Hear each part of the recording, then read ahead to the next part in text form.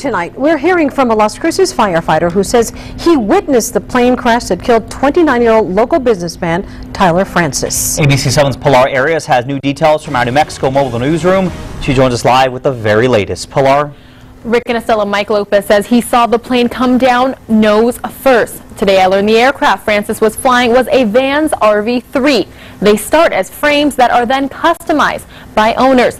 The crash site map shows just how close Francis was to the airport terminal at the time of the crash. A hole in the ground. Now the only sign left of Monday's single-engine plane crash that killed businessman Tyler Francis.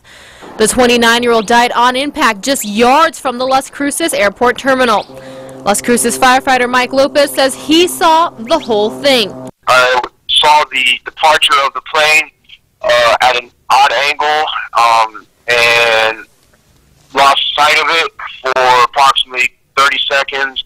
Um, I started to hear a uh, motor that was uh, uh, I, I, I really couldn't tell if it was a motor or not.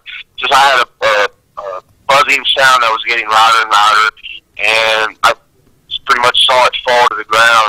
Doña Ana County International Jetport Airport Manager Bill Province knew Francis and worked with him closely over the past couple years, where Francis Aviation is based out of.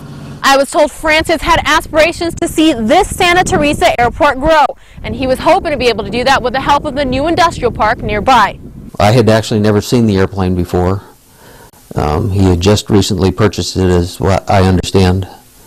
Uh, I've done some research on the RV3 on the internet. That's what federal investigators are reviewing now that they've finished collecting evidence at the Las Cruces airport. I did some digging of my own, and ABC7 learned the plane Francis was in started off as a kit purchased from Vans Aircraft in Oregon. President Scott Risen says it's up to the owner to customize the engine and components, essentially building their own plane. Since its introduction in 1973, the planes are known to have strong safety records, as did Francis, a veteran in the skies. Losing him and his uh, uh, youthful ambition is, and wisdom is um, going to be tough to replace.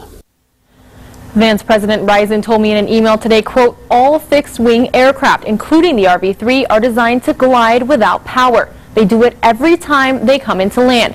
In fact, the RV-3 glides very well without the engine running and has a glide ratio of approximately 8 to 1.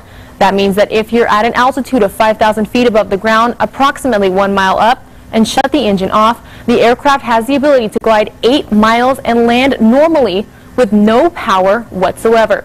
Keep in mind now that even though federal investigators are looking into the crash, we may not know what caused it for several months, up to a year. Back to you. Okay, Pilar, thank you for the latest on this.